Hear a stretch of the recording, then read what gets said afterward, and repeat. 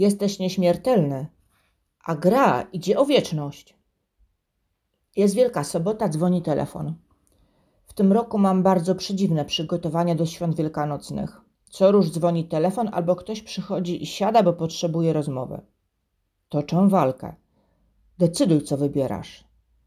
Taka Ewangelia na żywo o Marii i Marcie. Jedna się stale krząta, a druga słucha. Mycie okien czy pocieszanie strapionego. Dzwoni kolejny telefon. Bezdomny mężczyzna uzależniony jest od narkotyków. Mówi: Wczoraj, Wielki Piątek, zmarł przy mnie na śmietniku bezdomny mężczyzna. Ja nie chcę tak jak on umrzeć. Podniosę się, dam radę. Odpowiadam: To idź do Jezusa, pomoc, abyś dał radę. Szykuję koszyk do wielkanocnej święconki, a tu taka rozmowa. Wczoraj na południu Polski, w wielkim mieście, na śmietniku zmarł bezdomny. To tak trudne. I ta rozmowa z tym jeszcze żyjącym bezdomnym. Mówię do niego: Słuchaj, pomyśl, jesteśmy nieśmiertelni.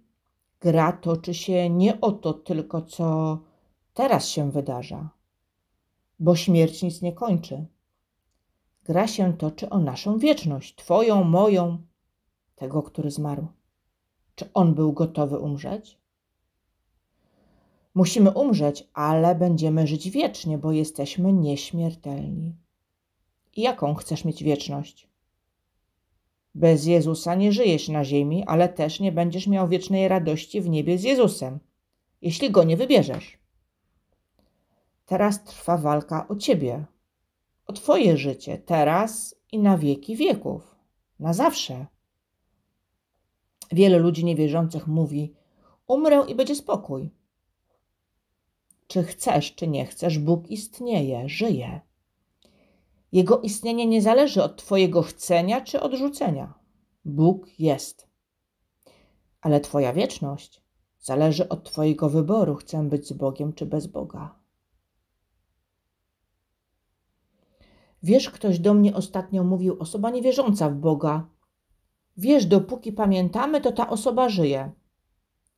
Wiesz, że to jest nieprawda.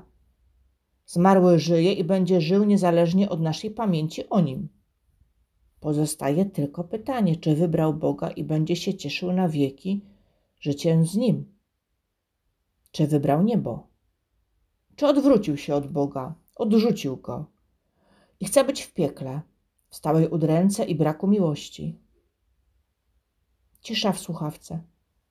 I mężczyzna odpowiada: Tak, wiem, co mam zrobić, zmienię życie. Radość wielkanocna też była. Zadzwonił inny telefon z wiadomością, żebyś wiedziała i była pewna, wyspowiadałem się z najgorszego. To pierwsze święta wielkanocne bez umytej podłogi i kilku innych gwoździ programu pod tytułem Świąteczne prace. W tym roku były wielkie przygotowania i ćwiczenia dla Jezusa. Czy mogą być lepsze święta? Jesteśmy nieśmiertelni. Ani oko nie widziało, ani ucho nie słyszało, ani serce człowieka nie zdołało pojąć, jak wielkie rzeczy przygotował Bóg tym, którzy go miłują. Pierwszy list do Koryntian, rozdział drugi, wers dziewiąty. Za święty Paweł pisze w liście do Rzymian. Otrzymaliście ducha przybrania za synów, w którym możemy wołać Abba Ojcze. Jeżeli zaś jesteśmy dziećmi, to i dziedzicami, dziedzicami Boga, a współdziedzicami Chrystusa. Skoro wspólnie z Nim cierpimy po to, by też wspólnie mieć udział w chwale. List do Rzymian, rozdział 8, wers od 15 do 17. Słyszysz to dokładnie? Dzieci Boże, dziedzice Boga, współdziedzice Chrystusa, mam udział w chwale, mam przygotowane miejsce? Znasz fragment z Apokalipsy, rozdział 21, wersy od 1 do 8 o Nowym Jeruzalem, miejscu mieszkania Boga z Tobą? I ujrzałem niebo nowe i ziemię nową, bo pierwsze niebo i pierwsza ziemia przeminęły i morza już nie ma.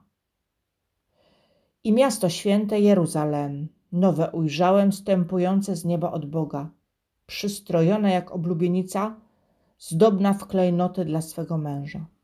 I usłyszałem donośny głos, mówiący od tronu. Oto przybytek Boga z ludźmi i zamieszka wraz z nimi, i będą oni Jego ludem, a On będzie Bogiem z nimi. I otrze z ich oczu wszelką łzę, a śmierci już odtąd nie będzie, ani żałoby, ni krzyku, ni trudu, już odtąd nie będzie, bo pierwsze rzeczy przeminęły. I rzekł zasiadający na tronie, oto czynię wszystko nowe.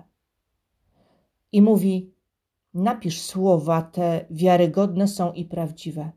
I rzekł mi, stało się, jam alfa i omega, początek i koniec. Ja pragnącemu dam darmo pić ze źródła wody życia. Zwycięzca to odziedziczy i będzie Bogiem dla niego, a on dla mnie będzie synem.